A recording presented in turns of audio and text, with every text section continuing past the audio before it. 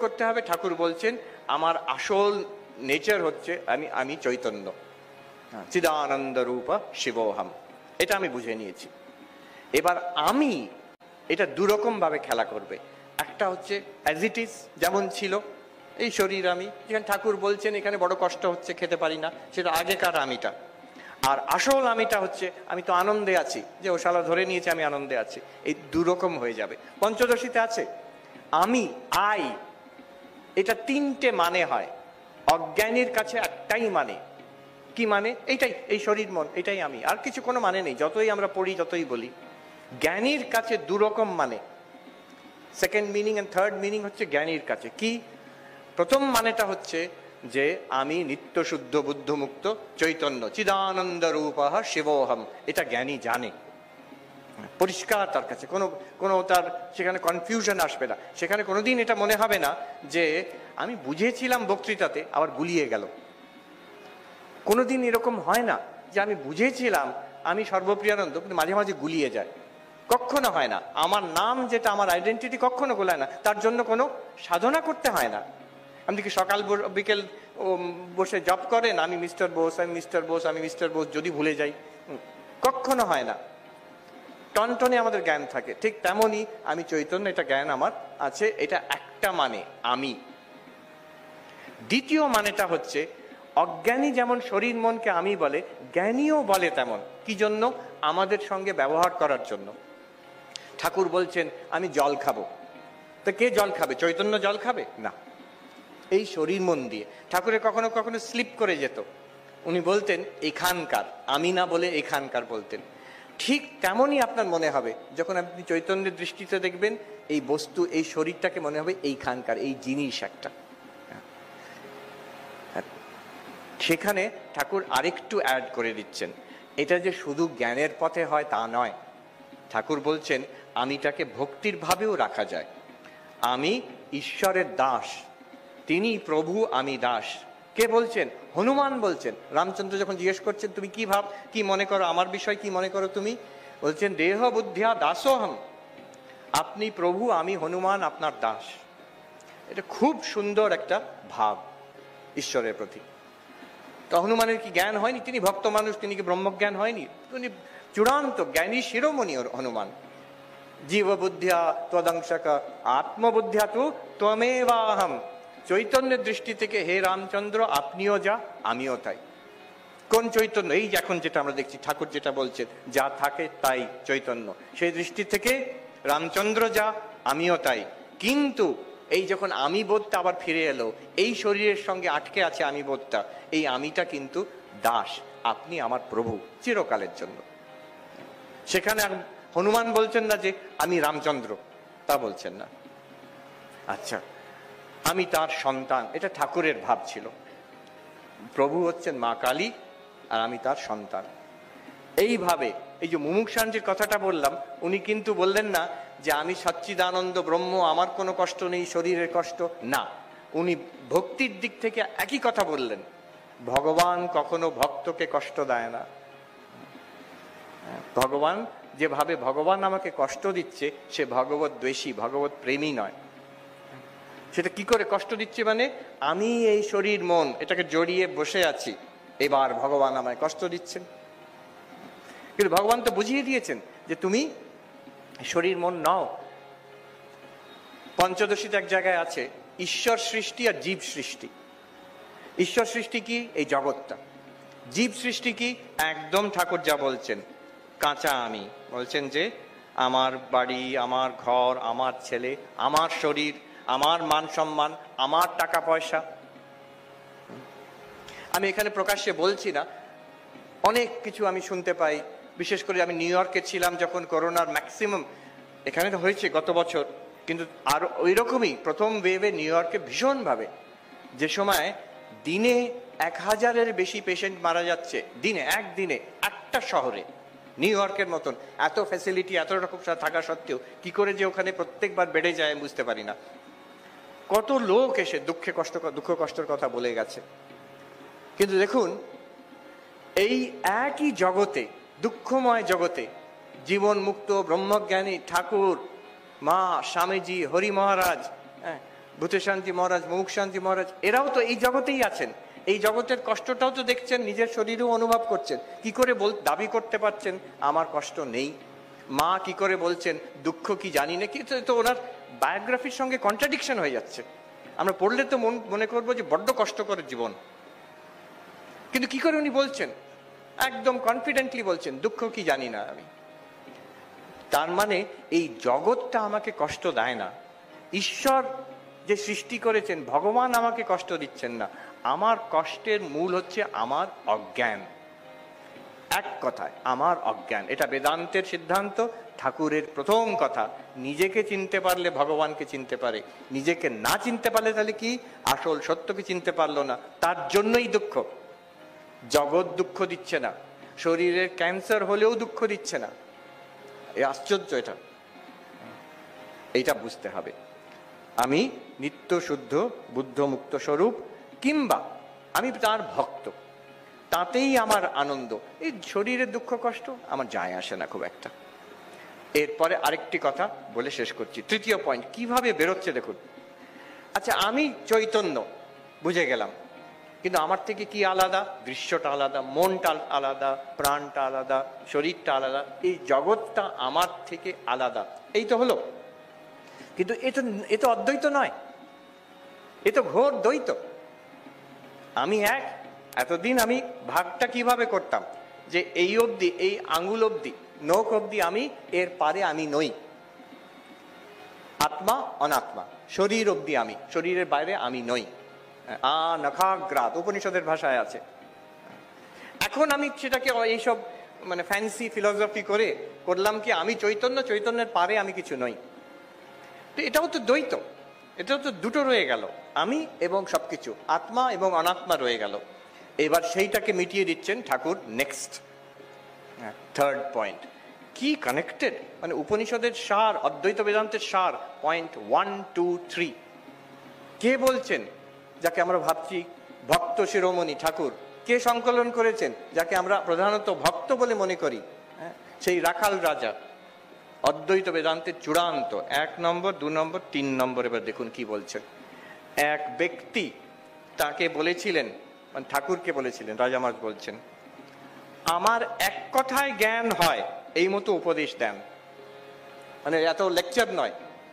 এক ঘণ্টা ধরে বকবক করবে, এক কথা বলতে হবে। দারুণ, কে জানি না কে বলেছিলেন, কে দারুণ লোক। সে জানে, যদি বলেন, আপনাকে উপদেশ দেন, সে তো পুরো কথামৃত আছে, হাজার পাতা আছে। বলছেন, ঠাকুরকে লিমিটেশন করে দিলেন, এক কথা বলতে, এর থেকে বেশি বলা চলবে না। একটা কথা বলুন, তাতে আমার জ্ঞান হয়ে যাবে। এক কথা বলুন যাতে আমার জ্ঞান হয়, এরকম উপদেশ দেন। তিনি বললেন, ঠাকুর বললেন ব্রহ্ম সত্য জগৎ মিথ্যা, এইটি ধারণা করো। ইহা বলিয়া চুপ করিয়া রইলেন। ব্রহ্মসত্য জগৎ মিথ্যা, এইটি ধারণা করো। এটা ভাবো বসে এটা, এটাকে বোঝো। ঠাকুর অনেক সময় কথা বলতেন, যখন বেদান্তের মুশকিলটা কি হয়? আলোচনা চলছে। এই এরকম অদ্বৈত বেদান্তের আলোচনা, আমরা যে কথা বলছি, কথামৃততে আছে, ঠাকুর সব শুনছেন, শুনে একটাই মন্তব্য করলেন, কথাগুলো তো ভালো, ধারণা হওয়া চাই। আমাদের এইসব বক্তব্য শুনলে ঠাকুর বলছেন, কথাগুলো ভালো, ধারণা হওয়া চাই।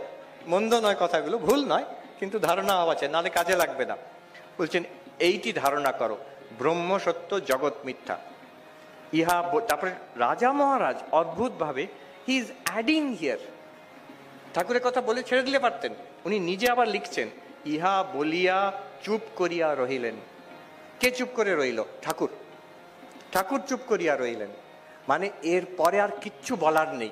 এটা স্ট্রেস দিচ্ছেন। স্বামী ব্রহ্মানন্দ স্ট্রেস দিচ্ছেন। জাস্ট বাই দি ওয়ে এটার একটা ইংলিশ ট্রান্সলেশন আছে ওয়ার্ডস অফ দি মাস্টার আর সেখানে মারাত্মক একটা ভুল হয়ে গেছে।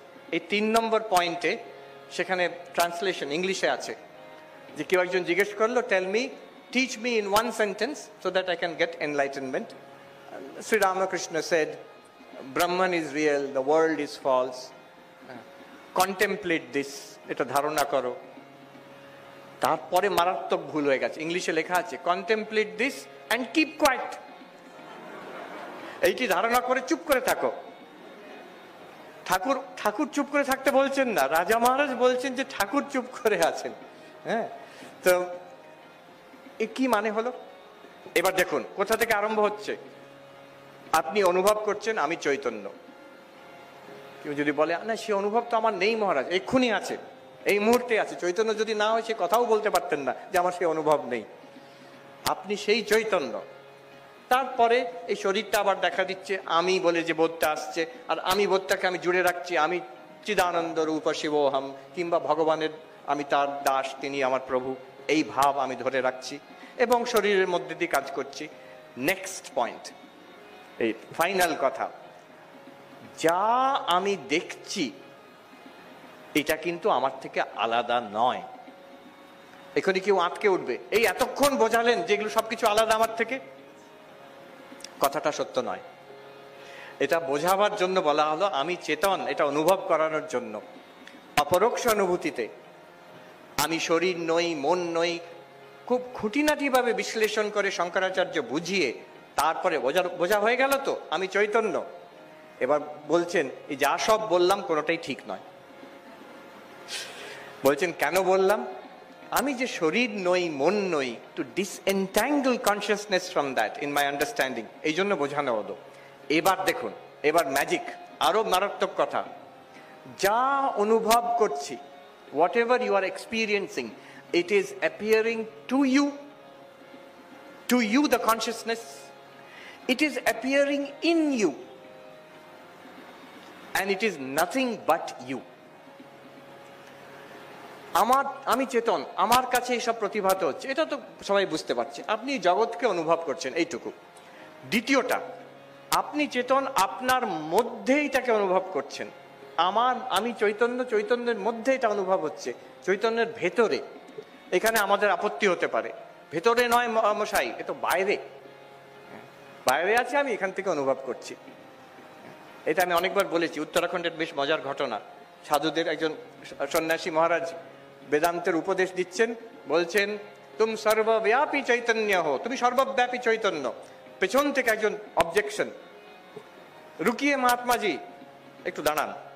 मैं यहाँ हूँ वहाँ नहीं हूँ সর্বব্যাপী कैसे हूँ আমি তো এই পেছন দিকে রোতে বসে আছি আপনি স্টেজে দাঁড়িয়ে আছেন আমি তো এখানে আছি ওইখানে নেই সর্বব্যাপী কি করে হব এই উদ্বোধনের একটা হলের একটা কোণে আমি বসে আছি আপনি বলছেন সর্বব্যাপী এইখানে আমি আছি ওইখানে নেই তার জবাবে কি বললেন মারাত্মক কথা বললেন সেই যে সন্ন্যাসী মহারাজ বলছেন হ্যাঁ লেকিন ইহা আর ওয়াহা দোনো ক্যা আপ মে নেই হ্যাঁ আমি এখানে আর ওখানে এই যে কথাটা বললাম, দুটোই কি আপনি চৈতন্যের মধ্যে অনুভব করছেন না? যখন এর মানেটা কি? যেমন আমরা স্বপ্নতে দেখি, স্বপ্নতে একটা জায়গায় যাচ্ছি, হয়তো বাগবাজার দিয়ে হেঁটে যাচ্ছি, ওই দূরে গঙ্গা, এই পাশে মায়ের বাড়ি। আচ্ছা ওই দূরে আর এই পাশে যখন জেগে উঠবো, কি বুঝব? পুরোটাই আমার মনের মধ্যে ছিল। ঠিক তেমনই একটু ভেবে দেখুন, এই যে অনেক দূর এই পাশে, এটা শরীরের দিক দিয়ে বলছি আমরা। আপনি চৈতন্যের দিক দিয়ে দেখুন, মনে হবে এই পুরো জিনিসটাই তো চৈতন্যের মধ্যে। একটা দূর রূপে আছে, একটা নিকট রূপে আছে। হ্যাঁ। যা দেখছি আমরা, সবটাই চেতনের ভেতরে অনুভব হচ্ছে নট আউটসাইড চৈতন্যের বাউন্ডারি কোথায়? খুঁজে পাবেন না। কেন এই দেয়ালটা? দেয়ালটা তো চৈতন্যের বাইরে পরে অনুভব হচ্ছে? না এটা হচ্ছে আমার দৃষ্টির বাউন্ডারি আমার চৈতন্যতে আমি বুঝতে পারছি, এই অবধি আমি দেখতে পাচ্ছি, জানা রূপে, এরপরে অজানা রূপে একটা জগৎ বিশ্ব ব্রহ্মাণ্ড আছে। দুটোই কিন্তু চৈতন্যের মধ্যে। ভেবে দেখুন অ্যাজ নোন অ্যাজ আননোন বিদিতাদ, অবিদিতাদ। চৈতন্য দুটোরই পারে, দুটোই চৈতন্যের মধ্যে দেখা দিচ্ছে। কিছুটা জানা, কিছুটা অজানা। বিশ্ব ব্রহ্মাণ্ড চৈতন্যের মধ্যে। যেটা চৈতন্যের মধ্যে দেখা দিচ্ছে, সেটা চৈতন্য থেকে আলাদা হতে পারে না। চৈতন্য সেটাকে পুরো ব্যক্ত করে আছে। চৈতন্য ছাড়া কিছু নয়। যেমন, এই বেদান্তের যেটা, একটা দড়িকে ভুল করে কেউ সাপ দেখল। কিন্তু বোঝানো হলো এটা সাপ নয়, সাপটা মিথ্যা, দড়িটা সত্য। কেউ যদি প্রশ্ন করে আচ্ছা তাহলে দড়িটা কোথায়? এই যে সত্য দড়ি আপনি বলছেন, ওটা কোথায়? কি বলবেন? ওই যে তুমি সাপ দেখছ, ওইটাই। এমন নয় যে একটা মিথ্যা সাপ আছে আর একটা সত্য দড়ি কোথাও আছে। যেটাকে তুমি সাপ বলে ভুল করে দেখলে, সেইটাই হচ্ছে দড়ি, রজ্জু। যেটাকে আমরা জগৎ বলে দেখছি, সেটাই কিন্তু চৈতন্য ছাড়া কিছু নেই, সেটা আপনি। আপনি নিজেই নিজের দৃশ্য রূপে দেখছেন নিজেকে। এই সারা বিশ্ব ব্রহ্মাণ্ড চৈতন্যেরই প্রকাশ। চৈতন্য থেকে দ্বিতীয় বস্তু কিছু নয়, দ্বিতীয় বস্তু নয়, অদ্বৈত। এইখানে অদ্বৈত হয়ে গেল। চৈতন্য ছাড়া আর কিছু নেই। চৈতন্যের যে বস্তু রূপে দেখা দিচ্ছে, দ্রষ্টার যে দৃশ্য রূপে দেখা দিচ্ছে, সেই দৃশ্যটা কিন্তু দ্রষ্টার থেকে আলাদা নয়। এক বস্তু। এই এক বস্তু হচ্ছে সচ্চিদানন্দ ব্রহ্ম। ওরে বাবা, বড় কথা, সচ্চিদানন্দ ব্রহ্ম, তুমি সেই অহম ব্রহ্মাস্মি। কখন? ও ব্রহ্মজ্ঞান হওয়ার পরে, এখন তো নয় মহারাজ, এখন অনেক সমস্যা আছে। এখনই চিরকালই চয়েসলেসলি আমরা সবাই all of us here in Thakur Ma Swamiji Sarat মহারাজ আমরা সবাই সেই এক চৈতন্য, সচ্চিদানন্দ ব্রহ্ম এখনই আছে। ঠাকুরের কাছে আমি প্রার্থনা করি রাজা মহারাজের কাছে, যারা এই নির্দেশ, উপদেশ আমাদের জন্য রেখে গেছেন, এটা যাতে আমাদের জীবনে প্রতিফলিত হয়।